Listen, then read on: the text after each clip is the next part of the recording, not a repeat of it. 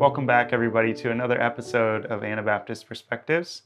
I'm here today with Ernest Eby, and we're not related that we know of, but it's good to be here with him. And today we're going to be discussing uh, some of the ministry that he's involved here in the State College area in Pennsylvania. So, Ernest, thanks for being with us. Good to have you here today. Good to be here. and here. would just like to start out uh, building some context for the area that you're in and uh, the ministry that you're involved in. Give us some context for your own experience of ministering to the immigrants and the international scholars that are in this area. How do you have access to those people and, and where do you interact with those? We live in a college town. Normally, there are about 50,000 students and scholars here during the school term, and 9 to 10,000 of these are international students and visiting scholars who are studying here and doing research. Because of this, there's many ethnic restaurants and grocery stores that cater to these students. Most of the immigrants in our town are either working at the university, working at these food service places, or living in this area because they have family members here and they're here to support their family or help take care of the children, that kind of thing. International people often find it difficult to penetrate the social circles of Americans. Many times they feel like they don't belong if they show up a, at an event that is mostly American. Many internationals have told us that they never made any local friends all the while they lived here in our town.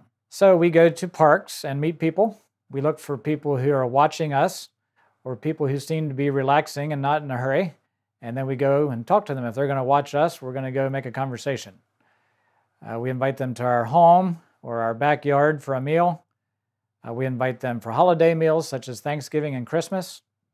And as we eat, we start making conversation, try to discern if there's any religious interest. If there is, we'll tell them more about what we believe and why we believe that. If there's not religious interest, we just continue befriending them and we try to work in a bit of Christian knowledge in our conversations as best we can. We also meet internationals at a local church that provides free meals. We sit down with them and eat with them and strike up conversation. We invite these people to our home and to our classes.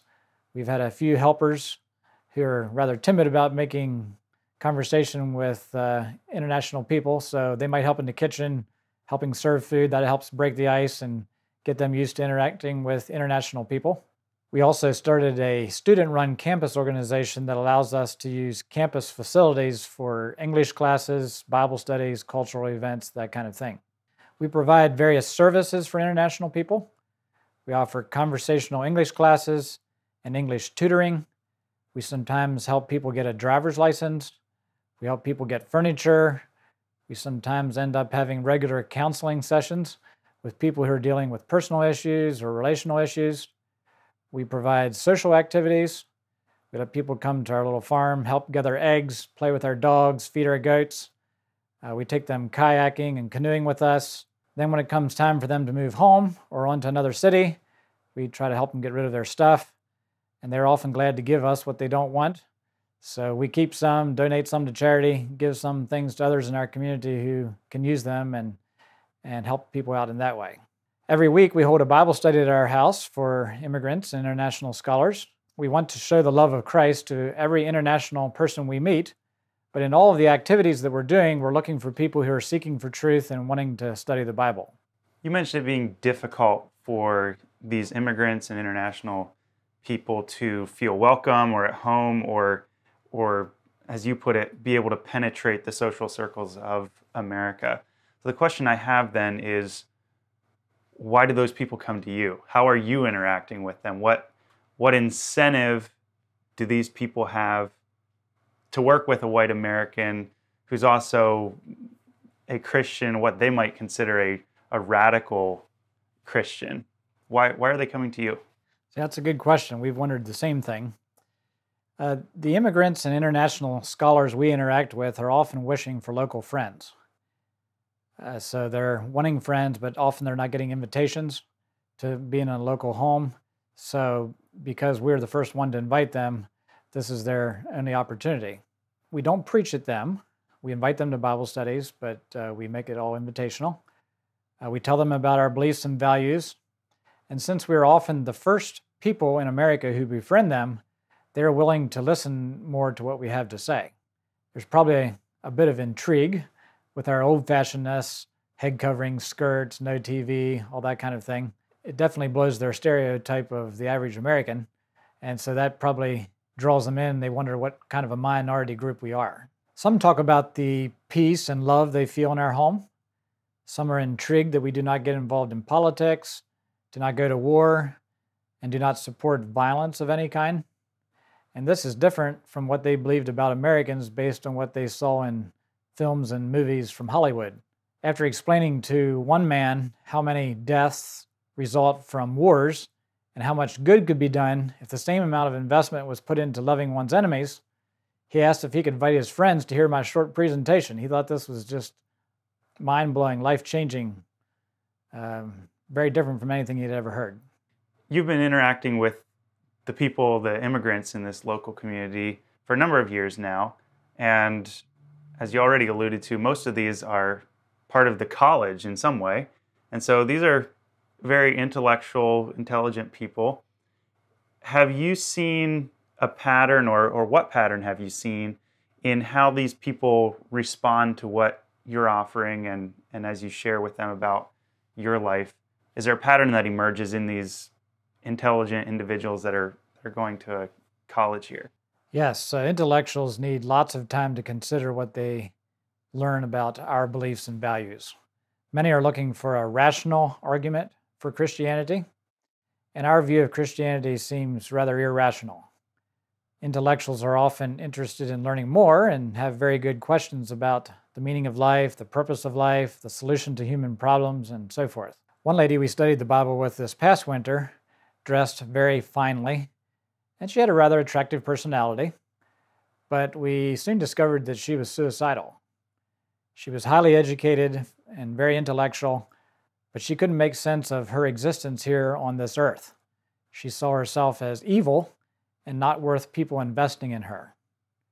Looking at her, a person would never have guessed that she was miserable on the inside, but there are many people like this. We don't place a premium on post secondary education, which is puzzling to many internationals. Yet we appear to be semi educated people, and this has them baffled sometimes. Many intellectuals see education as the answer to the world's problems, so they are a little alarmed when they see us not reaching for all the degrees and esteem that they are looking for. One professor who respects me quite highly offered to do whatever it takes to get our girls into the most prestigious universities in his country. So I'm not opposed to higher education, but I don't view it in the same light that he does. Without a Christian worldview, our values are just really different. Overall, I would say that most intellectuals are looking for something that can be proven to be true they are not particularly worried that the God of the Bible may not treat them right, like many hardened atheists or apostate Christians would be. But they are just not sure if the God of the Bible is a real being. And they're not sure if Christianity is the true religion or the only true religion or if it's simply one religion among others. These people really aren't necessarily skeptical or aren't opposed to God, this God that we believe in, but they're really just trying to validate in their own minds and determine whether or not this person exists and, and have some proof for that. Some people have said that international students are uniquely open to the gospel. Have you found this to be true in the people you've worked with? Yes, we have. We have found a lot more interest among international people than we do among the average American. There are probably several reasons for this. Many Americans are quite independent and are very opinionated, and many Americans have been inoculated against Christianity because of maybe God and country concepts or other things that uh, have turned them off of Christianity. But there are many people from Asia who have grown up with no religion at all. Many of these people have a religion void. They are like an empty sponge and will listen to anyone tell them anything the first person to present a religion to them is probably going to have a lot of influence on them. Then there are people from Muslim countries who have big questions about their religion. So, in a general sense, I would say international students and scholars are more open minded and perhaps they are the less loyal ones of their culture to take on the beliefs of their home culture. Can you give us a few more examples or glimpses into the type of interaction that you have or the type of people that have been more open to the gospel and and you being maybe one of the first people to share any sort of religious belief with them? Yes, so the, the first international person we interacted with closely was actually a believer.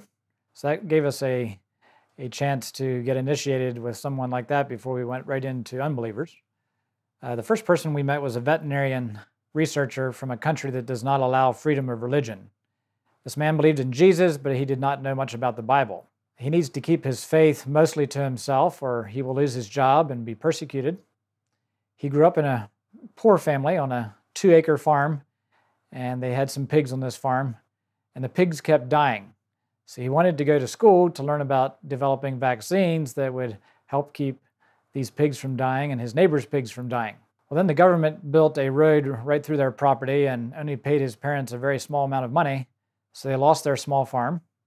But the son continued on with his research, and this included some research work he was doing at Penn State University. While he was here, he attended with us and we still have contact back and forth with him and enjoy that. And then there was the family we met at the park. The parents were raised in an atheistic culture, and they were not interested in religion or Bible study, but they were interested in being friends with us and our family. And we were fine with that. The Holy Spirit isn't limited just to those who have religious interests. Well, one day this family invited us to their house, and this was kind of a big deal for them to invite this American family to their house. And everything was going fine until their five year old threw a temper tantrum and started hitting his dad and clawing at him. And this lasted maybe five minutes or so. And these parents were just horrified and humiliated in front of their American guests, as we can understand. Once they got the boy quieted down and playing with our girls, the mom asked, uh, Can you help us? we need to learn how to train children like the American women do. They must not have known that many American five year olds act the same way, but we didn't inform them of that. So, for the next hour, we had the opportunity to talk about the need to control our spirit when relating to our children, how we need the help of God to be the people that we should be. And by the end of our conversation, this lady was writing down verses from the Bible about controlling her spirit and loving her son, and she was posting these on her fridge to remind her of the person she ought to be. And so, just a little interaction like that was an open door for um, sharing from the scriptures. And we've found that many people are open to child training, would love child training courses and help in that area. Then there was a literature professor from halfway around the world who was reading the Bible for the very first time. She read the Bible on a mobile app on her phone while waiting at bus stops for the next bus. She had a lot of questions about what she was reading and didn't know any Christians she could talk to about her questions. So, most times when I see somebody on their phone, I'm assuming that they're listening to music or something like that. But this has opened my eyes to the fact that there might be somebody on their phone reading the Bible through for the very first time. In her country, Christianity was greatly suppressed, so she could not openly ask people about where to find Christians. Then she had the chance to study abroad, and she chose to study here at Penn State University. So, six months ahead of her planned stay in State College, she began looking for an apartment online. And as she was searching for an apartment, she stumbled across an expired invitation to one of our picnics from the year before. This invitation had been posted by a friend of ours. This friend had attended a church in his home country and felt a peace in his heart when he entered the church building. But having no Bible knowledge at all, he could not understand what was being talked about. Then the church building burnt down, and he did not know how to make contact with someone about studying the Bible. But then God opened the door for him miraculously to come to the United States. He'd only been in the U.S. for a few weeks whenever a young Anabaptist man met him, and it introduced him to the God of the Bible. This Anabaptist man lived about 100 miles from State College, and he and some other young people were in our city passing out Christian literature and talking to people about the Lord. And the young Anabaptist man told him about God and gave him an invitation to one of our Bible studies. So the international man began attending our Bible studies the very next day and wrote home to his wife about the opportunity he had to study the Bible. She, not knowing about his interest in Bible study, had begun reading the Bible on her own. So they were quite overjoyed to learn about each other's interest in the Bible. And in their culture, even husbands and wives don't talk to each other about their religious beliefs because uh, you're not supposed to have any. The international man began bringing his friends to the Bible study as well. Later, he helped us organize our first picnic for internationals, and he posted the invitation on an online forum where people from his country could read it. He never bothered to take the invitation down, and so it was still online for this literature professor to read the following year when she goes looking for an apartment. Our invitation said nothing about apartments or lodging, but as this lady glanced down over this expired invitation, she noticed that we gave a Bible presentation at our picnic, and she saw my email address on the invitation and copied it down. Six months later, I got an email from a stranger who wrote, I'm a visiting scholar at Penn State. I got your email address from this international website, and I just arrived this month. I'm interested in discussing with you about what I have read so far concerning the Old Testament. Best wishes. We discovered that she read the first four books of the Bible and was halfway through Deuteronomy. And as you can imagine, if you were reading the Bible for the first time, you would have a lot of questions by the time you reached Deuteronomy as well. So we invited her to our house, and she brought her list of questions. And then every Sunday after that, she would come to our house, ask her questions, and then she would go along to church with us. She received much more than she had ever hoped for.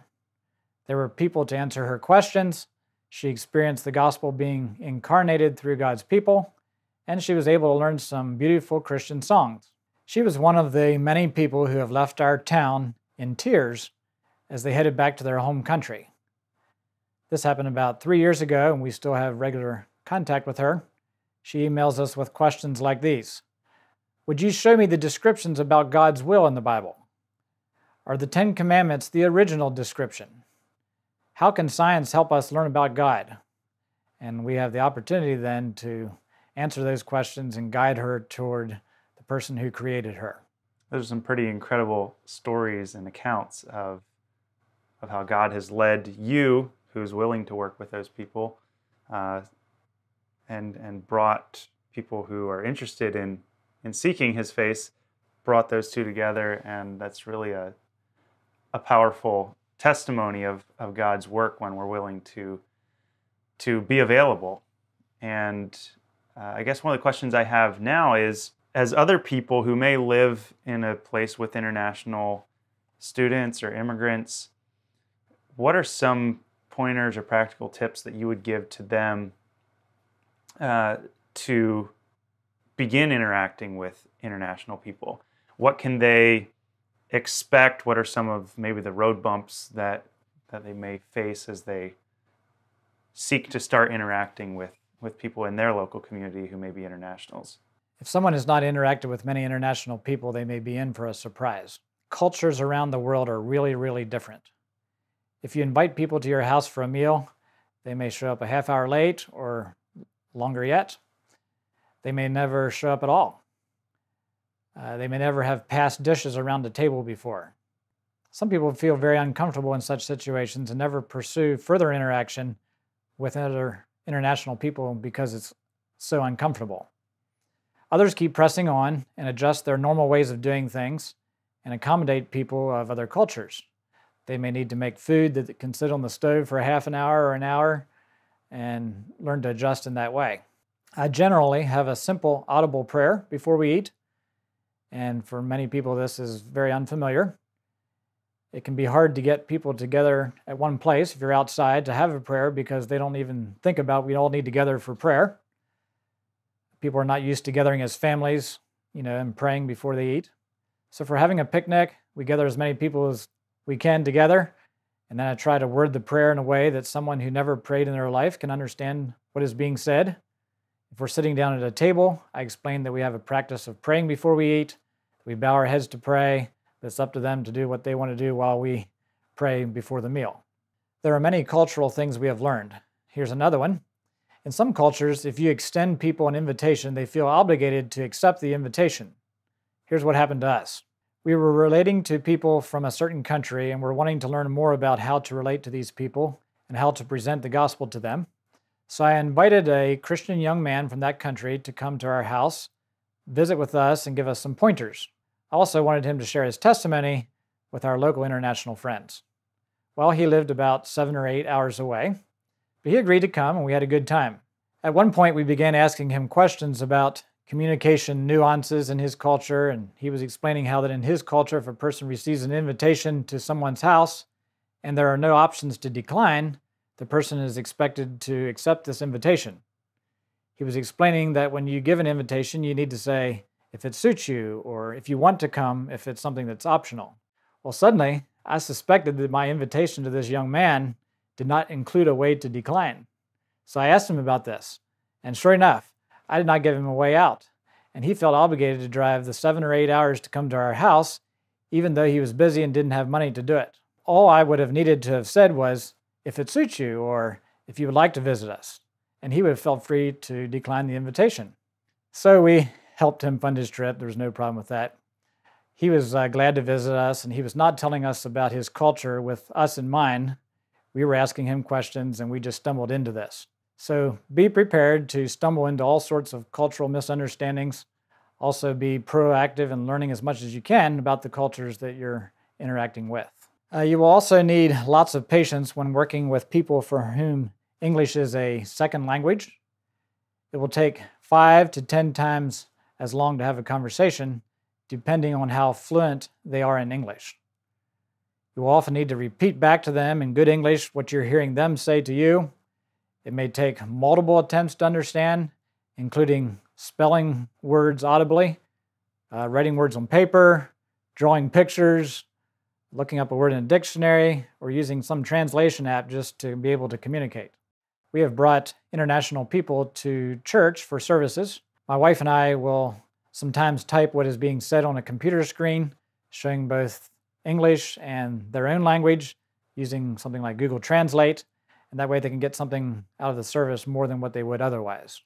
After the service, a few people smile at them, and a few were brave enough to venture into conversation. But for most English speaking people, communicating with folks who don't know good English is too frustrating and too difficult to be worth the effort. It's easier to visit with friends and acquaintances, so consequently, many international people do not enjoy attending English church. They much prefer small group Bible studies where they can practice their English, where the leaders of the Bible study have the patience of Job and, and they can take all the time they need. And patience is needed in all cross cultural relationships, even if the person can speak English well. Effective international ministry needs cultivation just like anything else. If you want to become a good teacher, you need to practice teaching. If you want to be a good carpenter, you need to spend lots of time working with wood and tools. And, this, and the same thing is true for international ministry. For me, the first year or two were probably the most challenging. And now I can interact with internationals much more comfortably than what I did five years ago. At the beginning, I mentioned some of the ways we find internationals to interact with. I'd like to talk about our picnics since that has been a very successful way of making contact with seekers. The last several years, we have hosted picnics at our house and our small hobby farm. We make up a flyer announcing an activity for families and students. We mention a farm tour and the opportunity to feed and pet the animals. We plan some games and announcements. We mention that there will be a presentation about the Bible at some point during the event. By explaining this in our invitation, nobody feels like we pulled the wool over their eyes. And our international friends are glad to help us advertise the event on their social media groups and so forth. We ask people to register for the event. We have had anywhere from 25 to 75 people show up for these picnics. And I always have a table where people can sign up for English classes and Bible studies and future events. I also have a table of Bibles and other Christian literature for people to take for free. So after I'm finished giving an overview presentation of the Bible, then I go over, stand by the tables, and talk with people who have further interest in spiritual things. Many of the people who come to our picnics we never meet again, but they were introduced to the Bible, and the Holy Spirit can use other means to water that seed after it's planted. Often, though, there are a few people who become friends as a result of these picnics, and some of these began attending our Bible studies. If you're interested in helping people learn English, it is not really that hard. All you need to do is put up a poster in an international grocery store or a restaurant, someplace like that, with an invitation to tutor people who want to learn better English. Uh, you can also volunteer with local organizations that match internationals with native English speakers. Sometimes these organizations refer to it as conversation partners. Then you can get a Oxford Picture Dictionary, a bilingual one that shows pictures and has the word for that picture printed in both languages. You can help people pronounce the words and work on their enunciation. So it's not really that hard to teach basic English if you have a heart for international people. To bring this to a conclusion, I would like to read a few verses from the Apostle Paul's address to the folks in Athens, Greece. He says, God, who made the world and everything in it, since he is Lord of heaven and earth, does not dwell in temples made with hands, nor is he worshipped with men's hands as though he needed anything, since he gives to all life, breath, and all things. And he has made from one blood every nation of men to dwell on all the face of the earth, and has determined their pre appointed times and the boundaries of their dwellings, so that they should seek the Lord in the hope that they might grope for him and find him, though he is not far from each one of us. Before the world was created, God had appointed that the international people living close to you would be placed there so that they would seek the Lord and find him. Now, not all people realize that they're looking for God, but these verses in Acts seem to indicate that all people are groping for God, whether they realize it or not. This is the message that we, as God's ambassadors, should be communicating to people who are living right here in our country. Well, thank you, Ernest, for sharing those thoughts and, again, many practical pointers for uh, interacting with internationals that may be uh, in our local communities. And thank you for uh, sharing number of your experiences and potentially awkward situations that, that you've been a part of um, in getting to where you are today. And like any skill, it sounds like it requires practice, requires just diligence and perseverance. And um, thank you for encouraging us to implement that in whatever way we can in our lives.